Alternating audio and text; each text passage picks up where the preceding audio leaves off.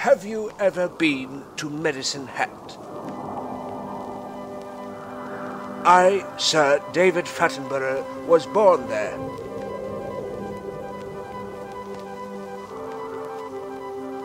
My sole purpose is to uncover the mysteries of the natural world.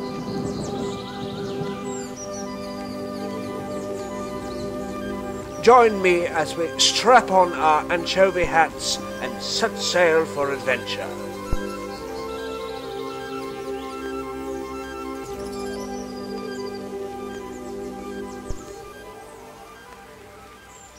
Chapter 1 The Caterpillar Friend or Food When I was a little girl, Mother used to come home smelling of brandy, and Daddy was the postman. But if ever I went to bed hungry, I knew I could snack on silkworms from the garden. For my silkworm and garlic bruschetta recipe, please see my blog link in the description. Caterpillars are not only delicious, they are also misunderstood. This is because most people focus on their prettier post-chrysalis stage, the pigeon. This incroyable insect is valued for its lovely plumage, a soft grey, reminding me of the clouds over my hometown of Medicine Hat. Pigeons also hunt in teams, much like dolphins or tapeworms.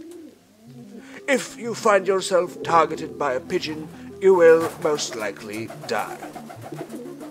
Pigeons are also unable to feel fear, making them pretty cool if you ask me. They wouldn't call the cops if you did a little weed at a party.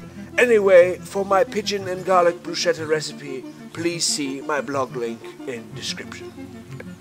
Chapter 2 Mammals Planet Earth is the only planet in our solar system with nipples. Scientists believe that Mars, with its vast frozen underground lakes, could have once held the potential for nipples, but I've seen the evidence and was very disappointed and remained unaroused. Anyway, mammals such as frogs, chimpanzees, and the common human can all be identified by their nipples. I myself have only one nipple, as I lost my other while in the Arctic. It was bitten off by a hungry penguin named Bethany. Could Bethany now be considered a mammal because she has consumed my nipple? Popular science says no, but I say it's a compelling argument for evolution. Epilogue The Natural World if our planet is to survive into the future, we need to set a few things right. Recycling is good. Science is good. Getting jaggy on the regular is pretty good too. The natural world is full of life, bursting with wonder and flavor. It's up to you, dear listener, to make the most of it. Peace out.